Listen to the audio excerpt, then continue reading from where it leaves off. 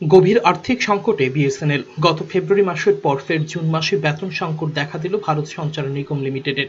সংস্থার প্রায় এক লক্ষ পঁচাত্তর হাজার কর্মচারীর জুন মাসের বেতন দেওয়ার আর্থিক সংস্থান নেই। পরিস্থিতি এতটাই ভয়াবহ যে আটশো পঞ্চাশ কোটি টাকা চেয়ে কেন্দ্রের দ্বারস্থ হতে হয়েছে এই রাষ্ট্রায়ত্ত সংস্থা থেকে।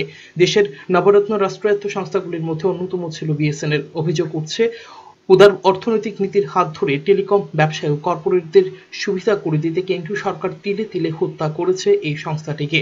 বিএসএনএল এর এমন বেহাল দশার কারণ, একদিকে বকেয়া তেরো হাজার পাঁচশো কোটি টাকার ঋণ, অন্যদিকে সরকারের উদাসীনতাও।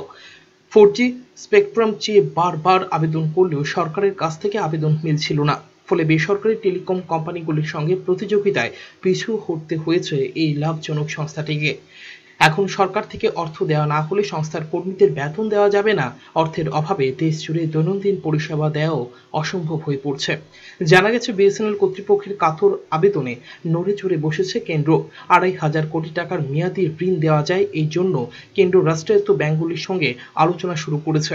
এদিকে বিএসএনএল কর্মী অফিসারদের সাতটি সংগঠনের বক্তব্য, সরকারের নানা সুযোগ নিয়ে রিলায়েন্স জিও টেলিকম ব্যবসায় বেশিরভাগ জায়গা দখল করে নিয়েছে আর কেন্দ্রের বঞ্চনাতেই সংস্থার বেহাল আর্থিক দশা। ব্যুরো রিপোর্ট চ্যানেল তিন রাউন্ড